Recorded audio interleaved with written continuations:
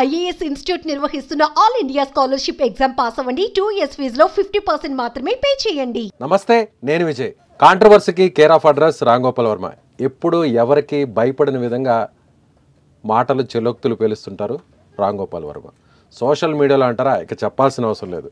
తనకు ఇష్టం వచ్చినట్టుగా పోస్టులు పెడుతుంటారు ఆర్జీవి. అయితే ఇప్పుడు ఆర్జీవి ఏపీ పోలీసుల దెబ్బకి భయపడ్డారా? హైదరాబాద్ నుంచి ఆయన దూరంగా వెళ్ళిపోయారా? అరెస్ట్ అవుతారేమన్న భయంతో ఇప్పుడు రామ్ గోపాల్ వర్మ ఎక్కడైనా దాక్కున్నారా? ఇది ప్రస్తుతం నడుస్తున్నటువంటి చర్చ. దీనిపైన మనతో మాట్లాడడానికి రామ్ గోపాల్ వర్మ గారి అడ్వకేట్ బాలా గారు స్టూడియోలో ఉన్నారు. నమస్తే బాలా గారు నమస్తే. ఆర్జీవి గారు నిజంగానే పారిపోయారండి? భయపడిపోయి. ఇప్పుడు మీరు ఊరు వెళ్ళారనుకోండి నేను వచ్చినప్పుడు మీరు ఇంట్లో లేరు మీరు పారిపోయారని చెప్తాను. అది జరిగిద్దా? కానీ నాలుగు రోజుల కిందట ఒక్క second. నోటీస్. ఆయన చెప్పారు. నాలుగు రోజుల తర్వాత నేను. వస్తాను అని చెప్పారు. కావాల్సిన వర్మ మీకు- పోలీసులు వచ్చేసరికి బయట వెళ్ళిపోయారు me complete ఫస్ట్ చెప్పండి. మీరు ఊరు వెళ్ళిపోతే నేను వచ్చిన టైంలో మీరు లేరు. దాన్ని నేను ఏమనుకోవాలి? మీరు పారిపోయారు అనుకోవాలా? ఫోన్ ఎందుకు స్విచ్ ఆఫ్ చేశారు? మీకు ఏదో పని ఉండి లేకపోతే బస్సులో Phone ఎందుకు off ఐఎమ్ టెలింగ్ యూ మీకు ఏదో పని పడో మీ షెడ్యూల్స్లో మీరు ఫోన్ స్విచ్ ఆఫ్ చేసుకున్నారు. అంటే దాని మీనింగ్ నేను ఏమనుకోవాలి అప్పుడు మీకు? మీరు ఎస్కేప్ మీరు పారిపోయారు ఫోన్ స్విచ్ ఆఫ్ చేసుకున్నారు అనుకోవాలనా? కాదు. Wait wait Varma let me complete first మీ ద్వారానో లేదా హౌస్లో ఉండేటువంటి స్టాఫ్ ద్వారానో ఆయన తెలుసుంటది. ఏమని? పోలీసులు వచ్చారు మేము రిప్లై పంపించింది? వెంటనే ఆయన ఫోన్ ఫోన్ ఆఫ్ చేసుకొని లేదు వేరే ఫోన్లో? నుంచి అయినా పోలీసులకు ఆన్సర్ ఇవ్వచ్చు కదా. మేము అదే ఆన్సర్ ఇచ్చాముగా లీగల్ గానే. ఎవరు ఇచ్చారు మీరు ఇచ్చారు మరి ఇంకేంటి? వర్మ గారు ఇవ్వలేదుగా? వర్మ గారే కదా ఇచ్చింది. ఆన్ బిహాఫ్ ఆఫ్ వర్మ గారు నేను ఇవ్వడము వర్మ గారు ఇవ్వడము రెండు ఒకటే. వర్మ గారు సపరేట్గా ఇవ్వాలి నిమిషం, నా మాట ఫస్ట్ నన్ను కంప్లీట్ చేయనివ్వండి. ఆయన వాట్సాప్ ద్వారా ఏం చెప్పారు? నేను ఇప్పుడు కాదండి మళ్ళీ హాజరవుతానని చెప్పారు. కాదు. మీ దగ్గర ఉన్న సమయం మీకు దగ్గర ఉన్న సమాచారం తప్పు. చెప్పండి మీ దగ్గర ఏముంది ఫస్ట్ నోటీస్ పంపించినప్పుడు ఇమీడియట్గా దానికి ఆన్సర్ చేయడం ఏమని జరిగిందంటే ఆ టైంలో రావడం కుదరదు మాకు టైం కావాలి అని అడిగాం. తర్వాత సబ్సీక్వెంట్గా వాళ్ళు సెకండ్ నోటీస్ పంపించారు. ఓకే. సెకండ్ నోటీస్ పంపించిన తర్వాత మా టైమింగ్ షెడ్యూల్ చూసుకోవాలి కదా. ఎవరో కేసు పెడతారు ఎక్కడో కేసు పెడతారు ఆ కేసు వస్తుంది. వెయిట్ పోలీసులు? వెయిట్ వెయిట్ ఒక నిమిషం అక్కడికే? అక్కడికే వస్తున్నామండి. మీరు ఆగండి ఫస్ట్ అక్కడే ఆగండి? మీరు రెండు నిమిషాలు ఆగండి. రెండు నిమిషాలు ఆగండి. ఇప్పుడు ఎవరో ఎక్కడో కేసు పెడతారని ఎవరికి తెలియదు మీరు ఊహిస్తారా? కలవలేం. Already Wait అండి. ప్రపంచం అంతా One minute ఆగండి. తెలుసండి. వన్ మినిట్ ఆగండి. మీరు ఫస్ట్ వినండి పూర్తిగా. ఎవరో కలలో కలగనరు ఎవరో కేసు పెడతారని చెప్పేసి అని కేసు పెట్టిన తర్వాత నోటీస్ వచ్చిన తర్వాత ఇప్పుడు మీరు అన్నారు చూసారా లా బైండింగ్ సిటిజన్గా వాళ్ళు పంపించిన నోటీస్కి మేము రిప్లై ఇవ్వడం జరిగింది. రిప్లైలో మాకు టైం కావాలని అడిగాం. ఎప్పుడు? వెయిట్ ఒక నిమిషం లెట్ మీ కంప్లీట్ ఫస్ట్ నేను అడిగేదాన్ని కూడా ఎప్పుడు అన్నారు ఫస్ట్ నోటీస్ ఎప్పుడైతే పంపించారో నైన్టీన్త్ రోజున హాజరు కావాలన్నప్పుడు దానికి మేము రిప్లై ఇవ్వడం జరిగింది. ఓకే. రిప్లై ఇచ్చిన తర్వాత మా షెడ్యూల్ చూసుకోవాలి కదా. షెడ్యూల్ అంటే ఏం షెడ్యూల్ అండి చూసుకునే కదా మీరు చెప్పారు పంతొమ్మిదో తారీఖున మీరు ఏం చెప్పారు? తెలీదు నాలుగు రోజులు కావాలి టైము అన్నారు. నాలుగు రోజులు పూర్తి అయిపోయింది మరి ఇప్పుడు ఐదో రోజు పోలీసులు వచ్చినప్పుడు సమాధానం చెప్పకుండా వెళ్ళిపోతే బిజీగా ఉన్నారని మీరే అంటున్నారు. ఆ బిజీగా ఉన్నారనే విషయంతోనే మీరేం చెప్పారు? నాలుగు రోజుల తర్వాత మేము అటెండ్ అవుతాము అని చెప్పారు. పోలీసులు వాళ్ళ డ్యూటీ వాళ్ళు చేశారు మీకు టైం ఇచ్చారు రాలేదు. సో అందుకని హైదరాబాద్కి వచ్చారు. మీకు తెలిసింది అదే. మీ మీడియాలోకి తెలిసింది అదే.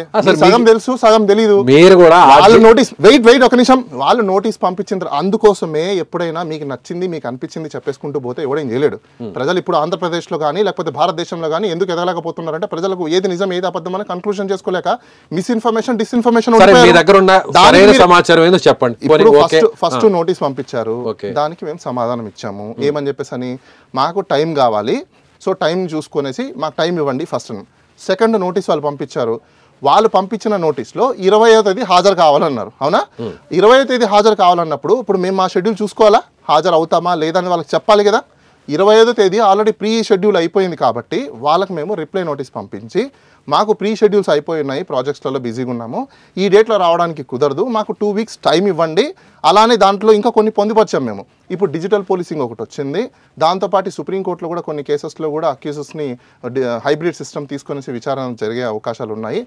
వాటిని కూడా మాకు ఫెసిలిటీస్ని ఇవ్వండి. ఎందుకంటే మీకు త్వరగతన ఇన్వెస్టిగేషన్ అయిపోవాలి కాబట్టి మేము కూడా కోఆపరేట్ చేస్తాము. ఈ ఫెసిలిటీస్ని కూడా అక్కడే భయపడ్డారు. ఆగండి ఒక నిమిషము. అక్కడే భయపడ్డారు. ఆగండి ఫస్ట్ కంప్లీట్ చేయనివ్వండి. అక్కడే మీరు ఆగండి. virtual మీరు ఆగండి. మీరు ఫస్ట్ ఆగుతారా? మీరు ఫస్ట్ ఆగుతారా. మీరు ఒక నిమిషం ఆగుతారా. మీరు కంప్లీట్ చేయండి. నేను ఒప్పుకోను. మీరు కంప్లీట్. నేను కంప్లీట్ చేసిన. తర్వాత మీరు మాట్లాడండి. మేము వర్చువల్గా ఫెసిలిటీస్ ఉన్నాయి. ఈ ఫెసిలిటీస్ని కూడా యూటిలైజ్ చేసుకోండి. యూటిలైజ్ చేసుకున్న తర్వాత మాకు మీరు ఎప్పుడైతే షెడ్యూల్ చేయాలనుకుంటున్నారో అది ప్రియర్గా వన్ వీక్ ముందు మాకు ఇంటిమేట్ చేయండి. దెన్ దాన్ని బట్టి మేము కూడా మీకు ఇన్వెస్టిగేషన్కి కోఆపరేట్ చేసి మీరు ఏదైతే క్రైమ్ పెట్టినారో ఆ క్రైమ్కి సంబంధించిన ఎఫ్ఐఆర్ కాపీ కంప్లైంట్ కాపీ దానికి సంబంధించిన మాకు ప్రొవైడ్ చేయండి. సో దట్ మేము వచ్చి మీకు కోఆపరేట్ చేస్తామనో లేదంటే మీకు అంత అర్జెన్సీ ఉంటే మాకు వర్చువల్గా ఇవ్వండి ఆపర్చునిటీ అని చెప్పేసి అని అడిగాం. ఈ వర్చువల్గా అడిగే ఆపర్చునిటీ మీ అందరికీ తెలియకపోతే తెలుసుకోండి. Digital policing dot G O V dot I N అని చెప్పేసి సెంట్రల్ గవర్నమెంట్ ఒకటి క్రియేట్ చేసింది. తర్వాత సుప్రీంకోర్టు కూడా ఒక కేసులో అక్యూజర్స్కి కూడా అడ్వకేట్స్గా మీరు ఏమైనా చెప్తారు బాలా గారు ఎవ్వరికి ఎప్పుడూ భయపడినటువంటి ఆర్జీవి గారు. ఈ రోజు భయపడినట్టే కదా? ఎలా? పోలీస్ స్టేషన్కి వెళ్ళకూడదు అంటే పోలీస్ స్టేషన్ మెట్లు ఎక్కారంటే అక్కడ ఏదో ఆయనకి అవమానం జరిగిందని ఫీల్ అయిపోతారని కదా? ఈ రోజు ఇప్పుడు ఆయన వర్చువల్గా నేను అటెండ్ అవుతానని చెప్తున్నారు? కోయంబత్తూరుకి వెళ్ళారంటున్నారు? అక్కడికి వెళ్ళి ఫోన్ ఎందుకు స్విచ్ ఆఫ్ చేశారు మీరు అనుకుంటున్నారా? చేశారు? నాకు విషయం చెప్పండి. ఎప్పుడైనా ఎవరికైనా కూడా డేర్గా ఆన్సర్ చేసే వర్మ గారు ఎందుకు ఇప్పుడు ఫోన్ స్విచ్ ఆఫ్ చేశారు? అది ఆయన ఇష్టం అండి. ఆయన ఏ బిజీలో ఉన్నారో ఏంటో మీకు ఎలా తెలుసు నాకెలా తెలుసు ఎవరికి తెలుస్తుంది? ఇప్పుడు ఒకవేళ ఫ్లైట్లో వెళ్తున్నప్పుడు ఫోన్ ఆటోమేటిక్గా స్విచ్ ఆఫ్ అయిపోతుంది. ఆయన ఏ బిజీలో ఉన్నారో తెలియదు రైట్ ఆయన అందుకోసమే ఆయన ఒక లా బైండింగ్ సిటిజన్గా ముందే మా చేత ఆయన పోలీస్ వాళ్ళకి రిప్లై ఇప్పించారు. మేము రిప్లై ఇచ్చాము. దానికి వాళ్ళు ఆన్సర్ చేయాలి. దానికోసం వెయిట్ చేయాలి. ఆ పీరియడ్ ఏం లేకుండా మీకు మీరు అనేసుకుంటే వర్మ పారిపోయారు వర్మ ఇదైపోయి ఎవరు చెప్పారు పారిపోయారు? కోయంబత్తూరుకి వెళ్ళిన వర్మ ఒంగోలుకి వెళ్ళడానికి ఏముందండి? కోయంబత్తూరు దూరమా ఒంగోలు దూరమా? మీకు ఫోన్ చేసి చెప్పారా? నేను చెప్తున్నా కదా. ఫోన్ చేసి చెప్పారా? ఓకే మీకు తెలుసు మీకు మీకు మీకు ఫోన్ చేసి చెప్పారా? ఆల్రెడీ అదే చెప్తున్నారు ఆల్రెడీ? చెప్తున్నారు. ఆయన? షూటింగ్ పని మీద బయట వెళ్ళారు ఎవరు చెప్పారు. మీకు ఎవరు చెప్పారు నాకు అది చెప్పండి. మీకు ఎవరు చెప్పారు? ఆయన కోయంబత్కి పారిపోయాడని చెప్పారు? నడుస్తుండేది అంతా అదే కదా. ఎవరు నడుస్తున్నారు? పారిపోయారో లేకపోతే దాక్కున్నారో. లేదంటే మీరు మీరు ఇంకోటి ఇంకోటి గుర్తుపెట్టుకోండి. జర్నలిస్టిక్ ఎథిక్స్ కోడ్ అని ఒకటి కొన్ని ఉంటాయి. దాంట్లో కూడా సోర్స్ ఆఫ్ ఇన్ఫర్మేషన్ ఆయన పోస్టులు పెట్టారు. ఎథికల్ ఆయన పోస్టులు ఏం పెట్టారని తెలియదు ఇంకా. మే వర్మ గారికి ఏం అవసరం ఉంది? పబ్లిసిటీ స్టంట్స్తో ఒక్కసారిగా వార్తల్లో ఎక్కేది వర్మ గారు. ఇప్పుడు కేసుల పరంగా కూడా చూస్తే మళ్ళీ వార్తల్లోకి సరే మీ- నేను మీకు క్వశ్చన్ వేస్తాను. ఆంధ్ర పోలీస్ వాళ్ళు నోటీస్ ఇచ్చిన తర్వాత డైరెక్ట్గా వచ్చేయచ్చా? ఆయన చెప్పారు కదండి టైం వచ్చే- టైం అయిపోయింది. నోటీస్ ఇచ్చారా టైం నోటీస్ ఇచ్చారా దానికి మేము రిప్లై టైం ఇచ్చాము అయింది అందుకని వచ్చారు. రిప్లై ఆన్సర్ చేయొచ్చు కదా. రిప్లై ఇచ్చాం మరి ఆన్సర్ చేయొచ్చు కదా. ఆన్సర్ అంటే రిప్లై ఏంటండి రిప్లై నోటీస్ ఏమంటారు? ఆన్సర్ ఆయనే చేయొచ్చు కదా. అంటే ఇప్పుడు ఆయన ఏం చేయాలని కూడా మీరే చెప్పేస్తారా? మేము చెప్పడం కాదండి. మేము చెప్పడం? పోలీసుల వైపు ఉన్నటువంటి వాదన చెప్తున్నాను నేను అదే అంటున్నా పోలీసు వాళ్ళ వాదన మీకు ఫోన్ చేసి చెప్పారా? పోలీసులు మాకు చెప్పారా లేకపోతే వర్మ గారి చెప్పారా మీకు చెప్పారా అనేది అది కాదు ఇక్కడ మాతోనే మాట్లాడలేదు. చెప్పేది. నేను ఇప్పుడు బయట నేను అడుగుతున్నది ఏంటంటే ఎప్పుడు ఎవరికి భయపడినటువంటి వర్మ గారు ఇప్పుడు భయపడ్డారా లేదా? నా క్వశ్చన్ స్ట్రైట్గా అడిగే క్వశ్చన్ ఇది. నేను. యాజ్ పర్ నేను లీగల్ గురించి మాట్లాడలేదు లేకపోతే చట్ట ప్రకారం ఆయన రైట్గా వెళ్తున్నారా లేకపోతే రాంగ్గా వెళ్తున్నారా ఇది మాట్లాడలేదు. ఇప్పుడు ఎవరికి భయపడినటువంటి వర్మ ఇప్పుడు భయపడ్డాడా లేదా? ఆయన ఏం భయపడలేదు. భయపడలేదు కాబట్టే మరి నేరుగా ఆన్సర్ చేయొచ్చు కదా. ఆయన ఆన్సర్ చేశారు కదా ఫోన్ ఫోన్ ఆన్ చేసుకోవచ్చు కదా. ఆయన ఏ బిజీలో ఉన్నాడో మీరు ఎలా చెప్తారు? How you decide how you. Media guys Okay. నాకు క్వశ్చన్ నాకు క్వశ్చన్ చెప్పండి. మీరు మాట పెద్ద? కేసులు కాదు. మూడు? సంవత్సరాల లోపల జైలు శిక్ష పడే కేసులు. దీనికి ఇంత రాద్ధాంతం చేయాల్సిన అవసరం లేదని మీరు అంటున్నారు మరి వాళ్ళని అడగండి. పోయి ఎవరైతే ఇది రాద్ధాంతం చేస్తున్నారో వాళ్ళని వెళ్ళి అడగండి. బాబు సార్ మీ మీద ఎవడు ఒత్తిడి తీసుకొస్తున్నారు? ఎవరు మీ మీద ప్రెషర్ తీసుకొస్తున్నారు? మీకు ఇదొక్క కేసే హైలైట్గా ఉందా? ఇంకెన్ని కేసులు పెండింగ్ ఉన్నాయి? వాటి మీద ఎందుకు మీరు ఇలాంటి యాక్షన్ తీసుకోవట్లేదని ప్రజలు ప్రశ్నించండి. మీడియాలో ప్రశ్నించండి. చాలా మంది కామన్ సిటిజన్లు కేసులు పెట్టడం ఇప్పుడు దాకా తెగల. సో చెప్పండి. అని చెప్పి ఎవరి మీదైనా ఎలాంటి పోస్టులు అయినా పెట్టేయచ్చు. ఆయన ఏం పోస్ట్ పెట్టారు ఏంటనేది దేని మీద కేసు పెట్టారు అనేది మళ్ళీ మీకు చెప్తున్నా. మాకు నోటీస్ మాత్రమే వచ్చింది. నోటీస్కి మేము రిప్లై ఇచ్చాము. ఆ రిప్లైలో ఎఫ్ఐఆర్ కాపీ కంప్లైంట్ కాపీ దానికి సంబంధించిన డీటెయిల్స్ ఇమ్మని చెప్పాము. ఇచ్చిన తర్వాత అప్పుడు మాకు తెలుస్తుంది ఏ పోస్ట్ పెట్టాము ఏ పోస్ట్ పెట్టలేదు అని చెప్పేసాను ఇన్వెస్టిగేషన్కి మేము కోఆపరేట్ చేస్తామని చెప్పాము. దాంతోపాటి మీరు అందరు తెలుసుకోండి. ప్రజలు కూడా తెలుసుకుంటారు. భారతదేశంలో మనకు సెంట్రల్ గవర్నమెంట్ డిజిటల్ పోలీసింగ్ అనేది ఒక ప్లాట్ఫామ్ తీసుకొచ్చింది. మీరు కంప్లీట్ దానికి మీరు కంప్లీట్ చేయండి వర్చువల్ గానే అటెండ్ అవ్వాలి వర్చువల్ గానే అటెండ్ అవ్వాలి అంటే ఓకే మీరు అన్నది కరెక్ట్ ఆ రైట్ మీకు ఉంది లాలో ఆ సిస్టమ్ మీకు వెసులుబాటు కల్పించింది కాదనట్లేదు. అందుకే భయపడ్డారు కదా. పోలీస్ స్టేషన్కి వెళ్ళడానికి ఏపీకి వెళ్ళడానికి భయపడ్డారు కదా. ఇంతకుముందు ఇదే వర్మ గారు పుసుక్కుమంటే ఏపీలో ఉండేవారు. ప్రతి జిల్లాకు వెళ్ళేవారు ప్రతి దగ్గర వెళ్ళేవారు అక్కడ కూడా మీడియాతో మాట్లాడేవారు. ఏదో విధంగా కాంట్రవర్సీ అవ్వడం కోసం ఆయన రకరకాల స్టేట్మెంట్స్ ఇచ్చేవారు. ఇక సోషల్ మీడియా అంటారా? ప్రత్యేకంగా చెప్పాల్సిన మీరందరూ ఒకటి గమనించుకోవాల్సింది అంటే ఈ రోజు వర్మ గారి వల్ల ప్రజలందరికీ ఒకటి తెలిసింది. డిజిటల్? పోలీసింగ్ ఒకటి ఉంది. సో ఇంత బాగా డిజిటల్- గారి వల్ల. ప్రజలందరికీ ఏం ప్లస్ తెలుస్తుందంటే డిజిటల్ పోలీసింగ్. ఇష్టానుసారం మనం పోస్టులు పెట్టామంటే అవతల వ్యక్తులు ఎంతటి వాళ్ళైనా సరే మన ఇష్టానుసారం మనకు నచ్చినట్టుగా ఇంకో వ్యక్తిని మనం అభిమానిస్తే వారిని డ్యామేజ్ చేసేటట్టు వాళ్ళ క్యారెక్టర్ని అసాసినేట్ చేసేటట్టు మన పోస్టులు పెడితే పోలీసులు వస్తారు కేసులు వస్తాయి. టైం అంతా మీది కాదు అనేది ఈ రోజు ప్రూవ్ అయిందంట. మీ దగ్గర పోస్టులు ఉన్నాయి? ఆయన ఏ పోస్ట్ మీద కేసు పెట్టారనేసి? పోలీసుల దగ్గర ఉన్నాయి. అదే మరి మేము కూడా అదే కదా అంటున్నాం. ఏ పోస్ట్ అనేది మాకు తెలియదు. ఆ పోస్ట్ ఏంటనేది తెలిస్తే అసలు తెలియనప్పుడు అటెండ్ అయ్యి తెలుసుకోవచ్చు కదా. మేము అందుకోసమే కదా అడిగింది రిప్లై నోటీస్ ఇచ్చింది. రిప్లై నోటీస్ మీరు మీ మీడియా వాళ్ళకి అందరికి నేను కోరేది కూడా అదే. మీరు మాట్లాడే భాషణ ఏదైతే ఉందో సంభాషణ ఏదైతే మాట్లాడే భాష. డెఫినెట్లీ మరి మాట్లాడే. మీరు మీ ఇప్పుడు మీ నోట్ గారు- ఇప్పుడు no no no no no మీరు చేస్తున్నారంటే మీ యొక్క ఐడియాలజీ మీ సైకలాజికల్గా అలాంటి క్వశ్చన్స్ మీ మైండ్ ఏం లేదు. వర్మ గారు వర్మ గారు జనరల్గా చూస్తే వర్మ గారిది కాదు. అంటే వర్మ గారు ఎవరికి పులులు సింహాలకు కూడా భయపడినటువంటి వ్యక్తి వర్మ గారు అనేది మార్కెట్లో. మార్కెట్. అనుకుంటారు కదా. అలాంటి చెప్తాను. వర్మ ఒక చిన్న కేసు వల్ల ఈ రోజు భయపడిపోయారు అనేది అందరూ నడుస్తున్నటువంటి ఒక అభిప్రాయం. ఆయన క్లియర్గా నేను దాని గురించి అంటున్నా. ఆయన- ఆయన- ఇది నా వ్యక్తిగతమైనటువంటి అభిప్రాయం కాదు? ఎందుకు కాదు? ఎందుకు కాదు? నా వ్యక్తిగతమైన అభిప్రాయం కాదు. ఎలా కాదు? మరి ఏ విధంగా మీకు ఇలాంటి క్వశ్చన్స్ వచ్చాయి? సైకలాజికల్గా మీరు ఒక చోట ఇన్స్పైర్ అయ్యి లేకపోతే ఒక చోట దొరుకుతున్న ఇన్ఫర్మేషన్ని తీసుకొని ఇలాంటి క్వశ్చన్స్ చేయాలని మీరు ప్రీ డిఫైన్డ్ ఏం లేదండి. మరి ప్రీ డిఫైన్డ్ కాకుండా నేను ఇలాంటి వర్మ? గారి గురించి మీరు ఫాలో అవుతున్నటువంటి. As a media person. As a జర్నలిస్ట్గా. ఒక సామాన్య వ్యక్తిగా వర్మ గారి గురించి చిన్నప్పటి నుంచి కూడా ఆయన సినిమాలో ఒక పెద్ద డైరెక్టర్గా తెలిసిన వ్యక్తిగా ఇప్పుడు వర్మ గారు కాంట్రవర్సీకి కేర్ ఆఫ్ అడ్రస్గా ఉన్నటువంటి తెలిసిన వ్యక్తిగా. సో నేను అలా అడుగుతున్నాను తప్పలేదు కదా? సో మీ క్వశ్చన్ అంటే వర్మ గారికి నచ్చినట్లే అడగాల? లేదంటే వర్మ గారు అడ్వకేట్ కాబట్టి మీరు సో ఆయనకి తగ్గట్టుగా ఆయనకి పాజిటివ్గా అయ్యే విధంగా మీరు అడిగిన? క్వశ్చన్స్కి మీరు ఆన్సర్ ఎక్కడ చెప్పని ఇస్తున్నారు చెప్పారు కదా. మీరు అడిగిన క్వశ్చన్కి ఏదైతే ఉందో దానికి నేను క్లియర్గా ఆన్సర్ ఏమని చెప్పా? మేము రిప్లై నోటీస్ ఇచ్చామని చెప్పారు. మీరేమంటున్నారు? ఎందుకు రిప్లై నోటీస్ అని మీరు క్వశ్చన్ చేస్తున్నారు. ఎందుకు అంటే మీరు ఎట్లా? డిసైడ్ చేస్తారు నేను అంటున్నా. నేను యాజ్ పర్ లీగల్ మీరు చేసే దాంట్లో నేను ఎక్కడ మాట్లాడలేదు. ఓకే. వర్మ గారు ఎవరికి భయపడినటువంటి వర్మ ఈ రోజు భయపడ్డారా? వెనకడుగు వేసి లేదు. క్వశ్చన్ ఆన్సర్ లేదు. భయపడలేదు. మీరు ఆయనతో మాట్లాడుంటారు కదా ఈ రోజు ఆయన భయపడలేదు. ఒక నోటీస్ వచ్చింది దానికి ఆన్సర్ ఇవ్వాలని చెప్పారు. మేము ఆన్సర్ ఇచ్చాము. ఆయన భయపడలేదు. ఆయన ఎందుకు భయపడతారు? మరి క్వాష్ పిటిషన్ హైకోర్టులో? మరి క్వాష్ పిటిషన్ వేయకుండా కామ్గా కూర్చుంటారా? తప్పు చేయలేదన్నప్పుడు నేరుగా ఆన్సర్ చేయొచ్చు కదా పోలీసుల దగ్గరికి మేము అదే కదా చేసింది ఇప్పుడు. పోలీస్ వాళ్ళకి ఆన్సరే కదా ఇచ్చాము రిప్లై నోటీస్లో. రిప్లై నోటీస్లో మేము క్లియర్ కట్గా ఏం వేసాం? ప్రజలకు కూడా కళ్ళు కళ్ళు కనిపించే విధంగా కనువిప్పు అయ్యే విధంగా డిజిటల్ పోలీసింగ్ ఒకటి ఉంది. వర్చువల్ ఇన్వెస్టిగేషన్ కూడా తీసుకో చేయొచ్చు. వర్చువల్ ప్రెజెన్స్ కూడా కోరచ్చు అని చెప్పేసి ఇప్పుడు ప్రజలకి కొత్తగా తెలిసింది. ఎలా తెలిసింది? ఫస్ట్ ఏమో టైం కావాలన్నారు. ఎలా తెలిసింది? మరి వాళ్ళు నోటీస్ ఇచ్చినప్పుడు మేము ఆన్సర్ చేయొద్దా? ఇప్పుడు మీరే అంటారు నోటీస్కి కూడా బేక్ రాజ్ చేశారు. నోటీస్ కూడా పట్టించుకోలేదు? రేపు మీరే అంటారు. కాబట్టి నోటీస్ వచ్చింది కాబట్టి ఫస్ట్ మేము ఆన్సర్ చేసాం ఎందుకు? లా బైండింగ్ సిటిజన్స్ కాబట్టి వర్మ గారు. లాని రెస్పెక్ట్ ఇస్తారు కాబట్టి పోలీసు వాళ్ళకి రెస్పెక్ట్ ఇస్తారు కాబట్టి జుడిషియరీకి రెస్పెక్ట్ ఇస్తారు కాబట్టి లా అండ్ ఆర్డర్కి రెస్పెక్ట్ ఇస్తారు కాబట్టి గవర్నమెంట్కి రెస్పెక్ట్ ఇస్తారు కాబట్టి ఆయన నోటీస్ రాగానే ఆయన బాధ్యతగా ఆయన రిప్లై ఇచ్చారు. రిప్లై ఎందుకు ఇచ్చారు? నాకు టైం కావాలి ఫస్ట్ అని చెప్పేసి అని రిప్లై అడిగారు. ఆ టైంలో మళ్ళీ ఇంకో నోటీస్ పంపించిన తర్వాత ఆయన మొత్తం చూసుకున్నాక అసలు ఏం జరిగింది ఏంటి ఏం జరుగుతుందని ఆయన మొత్తం లీగల్ ఒపీనియన్స్ తీసుకున్న తర్వాత నెక్స్ట్ నోటీస్ వచ్చింది. నోటీస్కి ఆన్సర్ ఇచ్చాము. మాకు టూ వీక్స్ టైం కావాలి. వర్మ గారు అపాలజీ ఏమన్నా చెప్పే పరిస్థితి? Why he want to say apology కొంతమంది సినీ ప్రముఖులు కూడా? ఇదే విధంగా గతంలో రాష్ట్రంలో వినండి ప్రజలకి వినండి వినండి మీరు మీరు మీడియా వాళ్ళు రాష్ట్రంలో ప్రజల్లో క్యాంపెయినింగ్ చేసేటప్పుడు అబద్ధాలు చెప్పి గవర్నమెంట్ వచ్చిన వాళ్ళకి పోయి అడగండి ఈ ప్రశ్న నేను రాజకీయాల గురించి ఇక్కడ రాజకీయాలు నేను. రాజకీయాల గురించి ఏ పార్టీ. గురించో లేకపోతే ఏ ప్రభుత్వం గురించో నేను అదే. అంటున్నానండి కామన్ మ్యాన్ ఇదే విధంగా కొంతమంది సినిమా ఇండస్ట్రీ ఇటీవల వాళ్ళ మీద కూడా కేసులు ఫైల్ అయితే మేము ఇక రాజకీయాల గురించి ఎక్కడా కూడా మాట్లాడము. ఏ పార్టీ గురించి వత్తాసు పలకడము లేకపోతే ఏ పార్టీని వ్యతిరేకించడం కోసాని వ్యక్తిగత- కృష్ణమురళి గారు బహిరంగంగా ప్రెస్ మీట్ పెట్టి ఆయన అనౌన్స్మెంట్ ఇచ్చారు. సో జీవితంలో ఇంకా రాజకీయాల వైపు వెళ్ళను. రాజకీయాల. జోలికి వెళ్ళను. అట్లా వర్మ. గారు కూడా ఏమన్నా అలాంటి స్టేట్మెంట్ ఏమన్నా వచ్చే అవకాశం ఉందంట?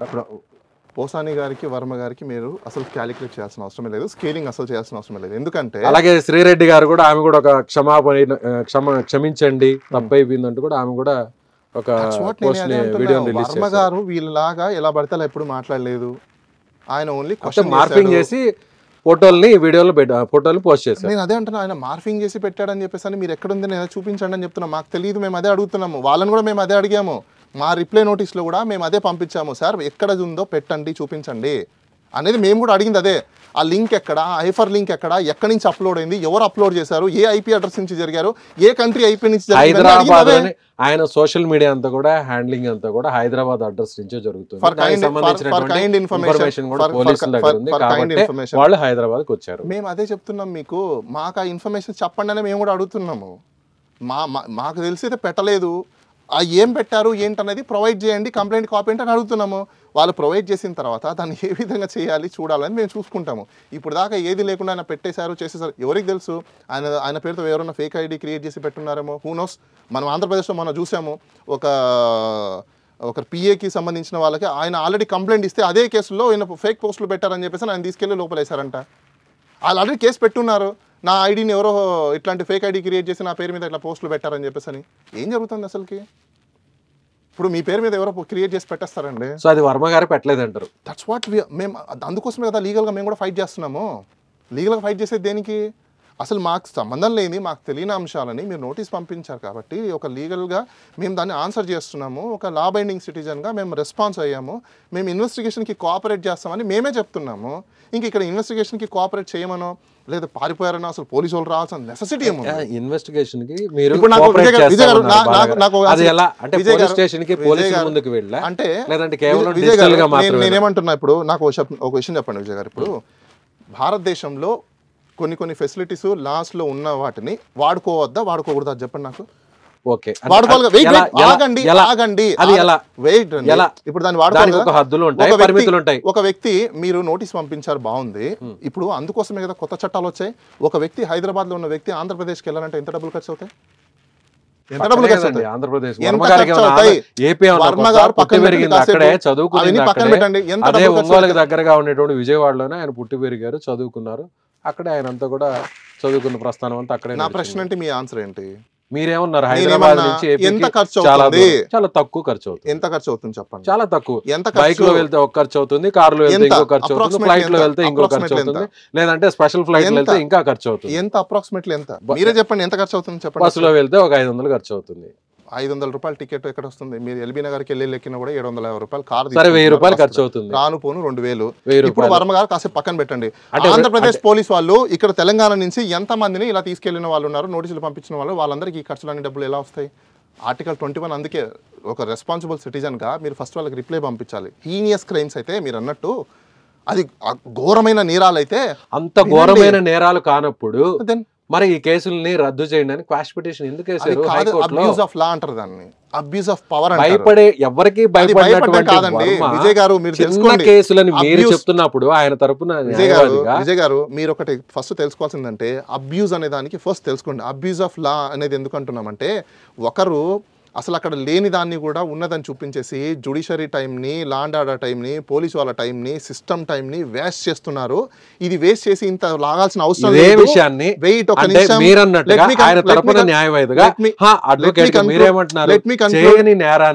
మీద మోపే ప్రయత్నం ఏమైనా జరుగుతుందని మీరు ఆయన తరపున అడ్వకేట్గా మీరు మాట్లాడుతున్నారు. ఇదే విషయాన్ని వర్మ గారు మీడియా ముందుకు చెప్పొచ్చు కదా. ప్రతి అంశాన్ని సోషల్ మీడియా వేదిక మాట్లాడే వర్మ గారు లేదా మీడియా ముందుకు వచ్చి మాట్లాడే వర్మ గారు నేను అసలు ఇలాంటి పోస్టులను పెట్టనే లేదు నాకు సంబంధం లేదని చెప్పొచ్చు కదా మరి ఎందుకు వర్మ గారు ఇన్ని రోజుల నుంచి ఆ విషయంలో గమ్ముగా ఉన్నారు ఈ క్వశ్చన్ మీద లేకపోతే ఎవరు చెప్పింది మీరు అందరు ప్రజలు అడుగుతున్నటువంటి. మరి ఈ ప్రజలు వాళ్ళ హక్కుల గురించి సీఎం ని లేకపోతే నేను వాటి జోలికి వెళ్ళట్లేదండి అలా నేను. వర్మ గారికి? సంబంధించినటువంటి ఆయన. ధైర్య సాహసాల గురించి నేను మాట్లాడుతున్నాను ఇదే మీరు ప్రజలు నేను మిమ్మల్ని అందుకే ఎలాంటి అయినా, అడిగాను? ఎలాంటి సన్నివేశాలతో అయినా ఎలాంటి వివాదాస్పదమైన చిత్రాలు తీసే వర్మ ఎలాంటి సన్నివేశాలైనా పెట్టే వర్మ ఎలాంటి డైలాగ్స్ అయినా పెట్టే వర్మ ఎలాంటి సినిమా పేర్లనైనా పెట్టే వర్మ సినిమా టైటిల్ని పెట్టే వర్మ. క్యారెక్టర్ రోల్స్ పెట్టే వర్మ. ఇప్పుడు ఎందుకు వెనకడుగు వేశారు? అయిపోయిందా మీ క్వశ్చన్ అయిపోయిందా? నేను. ఆన్సర్ నేను ఆన్సర్ చేయొచ్చా? చెప్పండి నేను ఆన్సర్ చేయొచ్చా? చెప్పారా? నేను క్వశ్చన్స్ మీరేమన్నా ఆయన అడిగారా? నేను ఆన్సర్ చేయొచ్చా? సార్ మీరేమైనా నేను ఆన్సర్ చేయొచ్చా? చెప్పండి. నేను ఆన్సర్ చెప్పిన మధ్యలో మీరు డిస్టర్బ్ చేయకూడదు. చెప్పండి. ఓకేనా. ఇప్పుడు మీరు ఏం క్వశ్చన్ అడిగారు? నేను ఏం క్వశ్చన్ అడిగాను మీకు? మీకు ఈ క్వశ్చన్ ఎవరు వచ్చారు పబ్లిక్ నుంచి వచ్చాయని చెప్పారు. అవునా? అవును. పబ్లిక్కి వర్మకి సంబంధించిన ఇష్యూ అంత ఇంపార్టెంటా వాళ్ళ జీవితాలు అంత ఇంపార్టెంటా నేను వాళ్ళ జీ వెయిట్ అండి. పబ్లిక్ వాళ్ళ జీవితాలకి సంబంధించిన వాటిలో ఎందుకు ప్రశ్నించట్లేదు ప్రజలు గవర్నమెంట్ని? ఇది అంటే. ఓన్లీ వర్మ గారికి సంబంధించిన అంశాలు మాత్రం పబ్లిక్ దగ్గర ఇలాంటి పబ్లిక్ పబ్లిక్ కాదంటే నేను చెప్పేది. మరి ఇంకెవరు? వర్మ గారు ఏం చెప్తారు ఆయన? నేను ఎవరికి భయపడను ఎలాంటి అంశాన్ని. చేస్తాను ఎలాంటి కాంట్రవర్సీలు అయినా కూడా నేను వేలు పెడతానని చెప్పే వర్మ Hmm. ఎందుకు వచ్చింది ధైర్యంగా చెప్పట్లేదు మళ్ళీ మీకు అర్థం కావట్లేదు నేను అడిగిన క్వశ్చన్ మీకు ఈ క్వశ్చన్ ఎవరు పబ్లిక్. గురించి అంటే పబ్లిక్? వర్మ ఒకటే కాదు?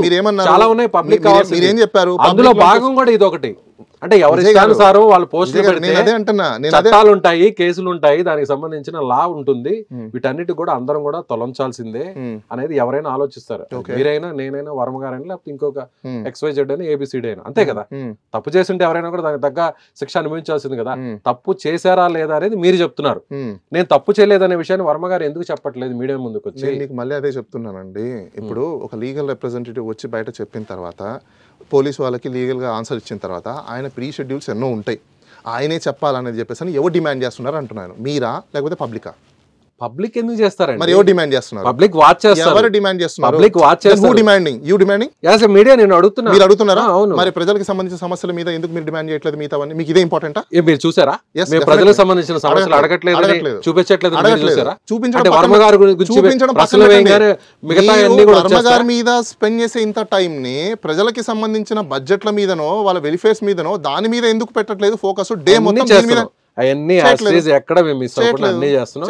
At the same time Varma గారి మీద కూడా ఈ రోజు చేస్తున్నాం ఇది ఇది ఇది ఫోర్త్ ఎస్టేట్కి వర్మ గారికి టాపిక్ని డివైడ్ చేస్తారు ఏమి గారు. లేదు ఇక్కడ అసలు ఫోర్త్ ఎస్టేట్ అంటే టాపిక్ని డివైడ్ ఫోర్త్. ఎస్టేట్ అంటేనే పబ్లిక్కి చేయాలి సంబంధం అసలు. వర్మ గారికి పబ్లిక్ ఏం. అవసరం ఉంది మేము చేస్తున్నాం మరి పబ్లిక్కి సంబంధించిన పబ్లిక్ అడిగారా మీకు వచ్చి సార్ సార్ వర్మ గారితో మీరు చేయండి వర్మ గారికి సంబంధించిన మీరు ఫోకస్ చేయండి పబ్లిక్ చెప్పారా? పబ్లిక్ ఎందుకు అడుగుతారండి? దెన్ మరి? వర్మ గారు మరి ఎట్లా డిసైడ్ చేసేసుకున్నారు? నేను ఇదే. మీకు ఇంపార్టెంట్ టాపిక్ నేనేం చెప్తున్నాను నేనేం చెప్తున్నాను? నేనేం చెప్తున్నాను వర్మ గారు భయపడిన వర్మ గారు ఈ రోజు భయపడ్డారని అనుకుంటున్నారు. అవునా కాదా. నేను భయపడనని చెప్పే. వర్మ ఎందుకు మీడియా ముందుకు రావడం లేదు అని అంటున్నాను. నేను మీకు మళ్ళీ ఆన్సర్ ఇచ్చానండి. ఆయన ప్రీ షెడ్యూల్ ఆక్యుపై అయి ఉన్నారు. ఆయన అవుట్ ఆఫ్ స్టేషన్ కేసుల గురించి మాట్లాడలేదు ఆయన అవుట్ ఆఫ్ స్టేషన్ ఉన్నప్పుడు ఎలా వచ్చి మాట్లాడతారు? సోషల్ మీడియా అండి. ఇదే ఫోన్. నాకు విషయం ఇదే ఫోన్లోనే ఇప్పుడు ఇదే ఫోన్లో నుంచి ఆయన ఈవినింగ్ see, ఒకటి ఇప్పుడు ఆయన ఆయన వర్క్ అయిపోయిన తర్వాత చూసుకున్న తర్వాత ఇలాంటివన్నీ స్పెక్యులేషన్ చూసి ఆయన వీడియో వదులుతారేమో ఎవరికి తెలుసు? సరే ఫైనల్గా ఓకే. నాకు. మీరు అన్నట్టు వర్మ గారు ఎక్కడ భయపడలేదు ఆయన తరపున ఆయన ఆయన. ఆయన బిజీగా ఉన్నారు ఆయన కాబట్టి వెయిట్ అండ్ సీ బిజీగా ఉన్నారు చాలా బిజీగా ఉన్నారు కాబట్టి. ఆయన ప్రీ షెడ్యూల్స్ అన్ని చాలా లాక్ అయిపోయినాయి కాబట్టి. సో అందుకని ఆయన ఫోన్ స్విచ్ ఆఫ్ చేశారు. సో అందుకని ఆయన హైదరాబాద్ నుంచి దూరంగా వేరే చోటికి పోలీసులకి కనిపించకుండా. అందనంత దూరంలో ఆయన ఉన్నారు ఓకే. నెక్స్ట్ ఏంటి ఏం జరుగుతుంది నెక్స్ట్ వాళ్ళు ఆన్సర్ చేయాలి కదా రిప్లైకి రిప్లైకి ఆన్సర్ చేస్తే దాన్ని బట్టి దాన్ని నెక్స్ట్ మేము ఆన్సర్ చేయాలనేది మేము కూడా ఆలోచిస్తాం వర్చువల్గా కుదరదు అంటున్నారు పోలీసులు. అనుకుందాం. అది నెక్స్ట్ ఆలోచిస్తాం. ఇప్పుడే నేను I'm not a god or మీరేం గాడ్ కాదు. ముందే ఏం జరుగుతుందో ప్రొడక్షన్ చేసి చెప్పండి అనడానికి. వాళ్ళు ఆన్సర్ చేసిన తర్వాత ఏం జరుగుతుందని తెలుస్తుంది కానీ మీరు ఇప్పటికిప్పుడే డిసైడ్ చేసి చెప్పండి అంటే అరెస్ట్? రంగం సిద్ధమైపోయింది. అందుకే పోలీసులు ఆ స్థాయిలో వచ్చారు.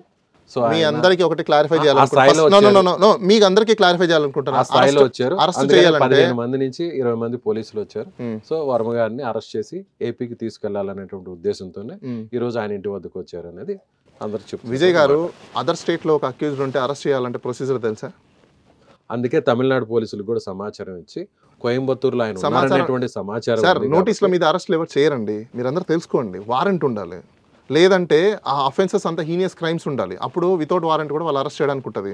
ఇవన్నీ త్రీ ఇయర్స్ టూ ఇయర్స్ అఫెన్సెస్లో మీరు వారెంట్ లేకుండా వాళ్ళకి నోటీస్ ఇచ్చినప్పుడు మేము కోఆపరేషన్ మరి చేస్తామని ఎలా అలాంటప్పుడు అరెస్ట్ చేస్తారండి? కదా? మేము కోఆపరేషన్ చేస్తామని మేమే చెప్తున్నాం కదండి. మళ్ళీ మీరు అంటున్నారు. పోలీస్ స్టేషన్ వెళ్ళొచ్చు కదా? అది ఆయన అడిగారు ఫస్ట్ కదా నోటీస్ time. రాగానే వెళ్ళొచ్చు కదా? లేదు మీరు అన్నట్టుగానే ఆయన ప్రీ షెడ్యూల్లో బిజీ అయిపోయారు లాక్ అయిపోయినారు. చాలా సినిమా విజయ్ గారు విజయ్ గారు ఐ వాంట్?